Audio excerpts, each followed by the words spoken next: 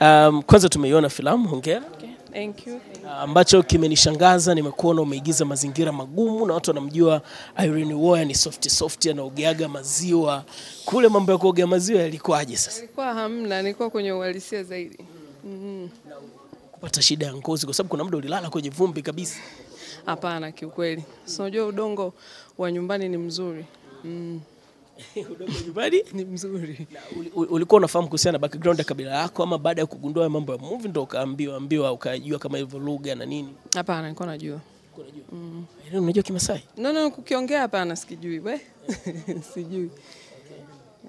na kuhusiana na uh, wale watu ambao ulikuwa unafanya nao kazi, kuna wengine wameonekana hawajazungumza Kiswahili, walikuwa wanaongea kilugha ni chenye, yani ni kweli hawaelewi Kiswahili kabisa, na ugumu ulikuwaje? Ni kweli hawa- hawajui Kiswahili vizuri. Kwa hiyo wako naongea kilugha kabisa cha Kimasai.